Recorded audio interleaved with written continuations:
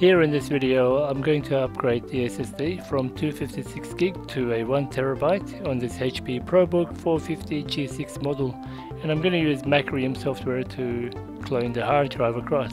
Here is the current SSD 256 gig NVMe. The back cover comes very easily, just few screws all around and use a plastic tool to pry it open. There are very strong clips all around it. Here you can see there's also a SATA connector which helps you have two hard drives if you like to. And here is a overview of the motherboard for you if you were to work on this board in the future, what parts you may need or what the layout looks like. It's using DDR4 of course, uh, the latest RAM. Very simple layout, has a good big fan, nice cooling. So here we go, let's give it a go. I'm going to replace it with a 1TB from Intel.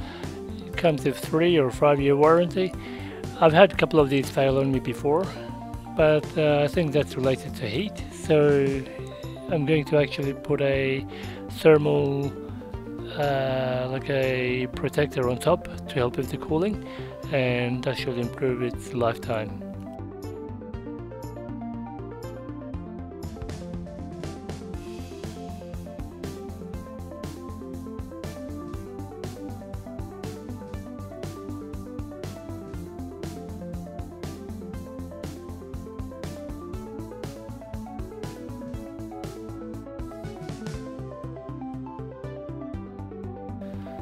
This is like a thermal pad which will sit on it. It will help carry the heat away from the chip a little bit and pass it onto the casing.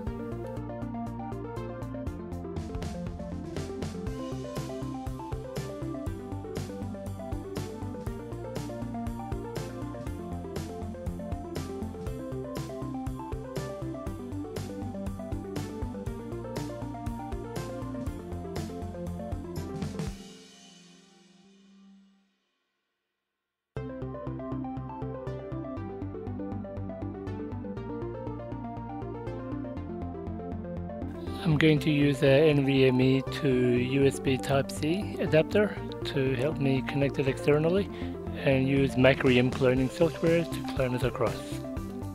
On HPs, the key is F9 to boot from an external or another source. Keep tapping F9 while you see the HP logo and let's see what happens.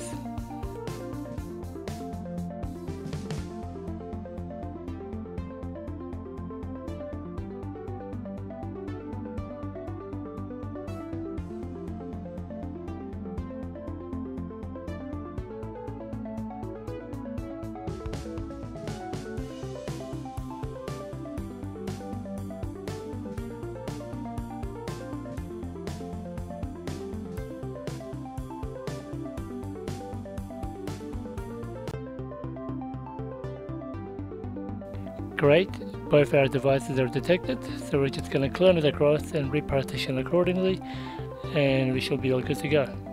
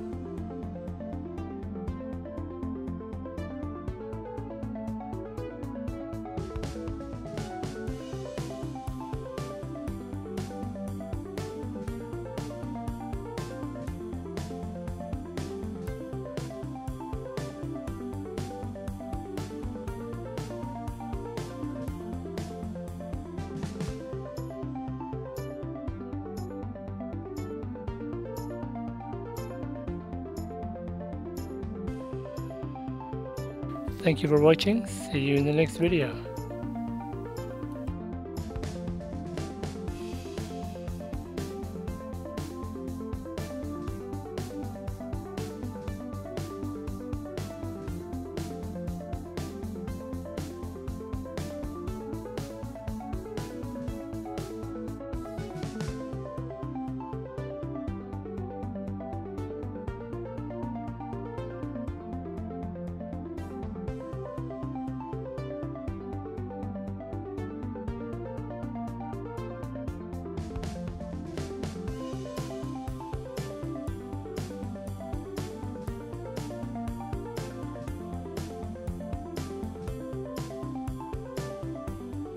Thanks for watching.